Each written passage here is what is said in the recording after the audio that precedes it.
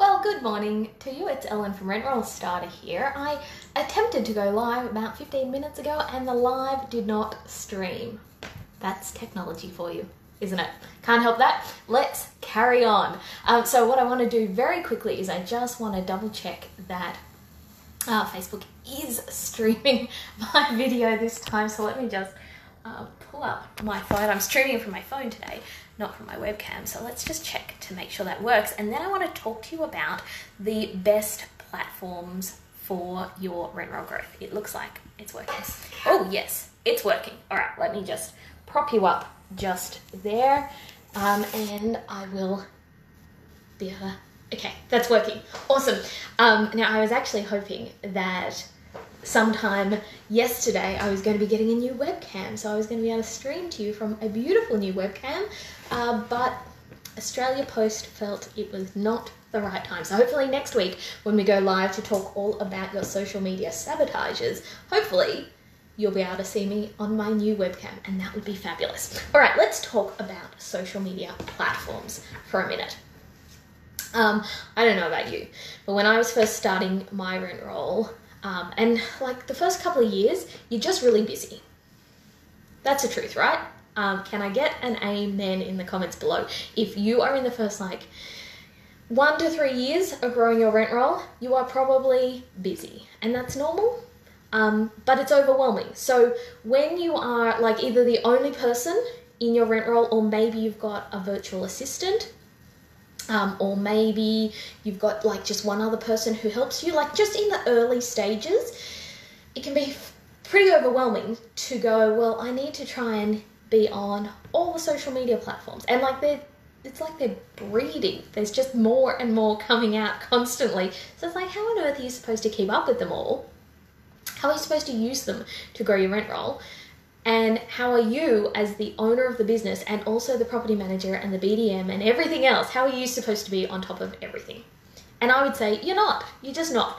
Um, so I think the best thing to do is just pick the platforms that are going to work best for you. So you might be wondering, well, how do I pick? Which ones. You know, I've got maybe a Facebook account and an Instagram account and a LinkedIn, and I signed up for Snapchat, and I do have a YouTube channel, and I'm thinking about trying TikTok as well. How are you supposed to know which ones? Well, today I want to share with you one way that you can figure out which platform might be the best for your business to attract the landlords that are going to work in your business. Um, and then inside the Social Summit, which is our free training event, which starts in a couple of weeks, I'll be sharing with you another way to help you pick a platform. Now, before uh, we get started, what I want to do is I want to be able to share some links with you. Um, so I'm going to have to move this camera a little bit over here, just like that um, because I want to share a couple of links with you. Now, first of all, I want to share with you how you can join us inside the Social Summit because I'm going to teach you one strategy today, um, and then I'm going to teach you one strategy in um, inside the Social Summit. So make sure that you click the link in the comment below. Join us inside the Social Summit so you get the other strategy as well. Okay, when it comes to picking platforms, one way that you can figure out the best platform for you to be on is to have a look at the demographics or the of the users of those platforms. So I was checking out a really great article by Sprout Social that's that outlines a whole bunch of demographics and behaviors for different social platforms. Actually, let me link this article for you below as well because it's a really interesting article. It's long, um, but it, it offers you so much insight. So let me just share that with you in the comment here as well. So you can go and read the entire article yourself. But there were a few key things that I uh, picked up out of this article, and I've written them down on my trusty notepad here. So, but first of all, before you go through the article and before I share the stats with you, I want you to have a think about your landlord. So, have a think about um, who is it who are who who make up your current landlords, and probably who are the people who are your favorite landlords? Because I mean, if you're going to attract anyone, why not attract your favorites? So have a think about them. Like, how old are they? Um, and what are their demographics? Have a little think about that. And then grab a quick pen and paper right now because I'm going to throw some stats at you that you might want to scribble down. You can watch the replay of this afterwards if you want as well, but I just want to step you through some of these stats because they're really interesting. So I've just written down the stats for Facebook, Twitter, LinkedIn, Pinterest, Snapchat, and YouTube so that you can get a feel for what, what are the age brackets of people who use these um, and also whether whether they tend to attract male or female. There's not a lot of difference between um, male and female on all of these platforms, but there is just a slight difference, and you can read it in the full article on Sprout Social as well. So, um, so Facebook, the age range 18 to 49 predominantly, um, and a slight leaning towards more female than male. Twitter, age range 13 to 29, slightly more men than women. LinkedIn, age range 30 to 49, slightly more or men than women. Pinterest, age range 19 to 49, predominantly female. Um, actually, Pinterest was, from my memory, it was noticeably more women than men. Just good to know. Um, Snapchat, younger, so 13 to 29. Uh, this one had a really equal split between men, women. Uh, YouTube 13 to 64, big age range, uh, predominantly male. So, can you see how knowing this sort of information can help you figure out where to focus your attention? Because if you look at the majority of your landlords, if you look at the types of people who are mostly working with you and you go, oh my goodness, most of them are over 40, as an example, then you might go, well, there's probably not a great deal of benefit to me focusing my attention on, say, Twitter or Snapchat if kind of all of our landlords tend to be in that 40 years plus. So, can you see how this is useful to know?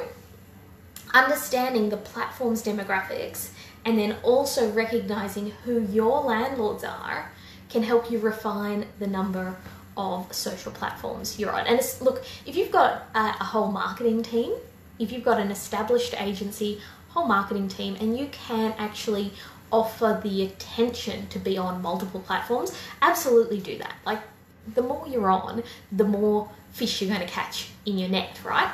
But if you're just one person, if you only have um, maybe one virtual assistant, if you only have one property manager working with you, if your resources are limited and your time's really limited, then you just want to refine it to be working on the platforms that are likely to put you in front of the people that you most want to attract, right? So you want to be in front of the types of people who are likely to be property investors in your area. So I just think that's really interesting. Go and read the full article by Sprout Social in the comments below uh, because you can get a really good feel for which platforms are actually going to work well in your area. And then you can focus your attention on just one or two platforms. You don't have to feel the pressure of being on everything all at once. And do I post the same thing on everything?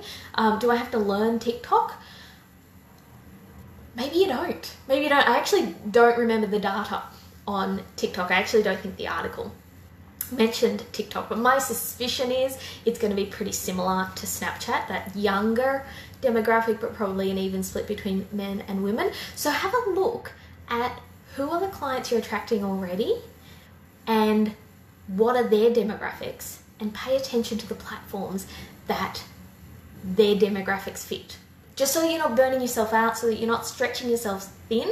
And I think this is just an amazing way to figure out where to focus your your limited time, your limited attention. Focus on the things that are going to bring you the greatest results, give you the best bang for your buck, right?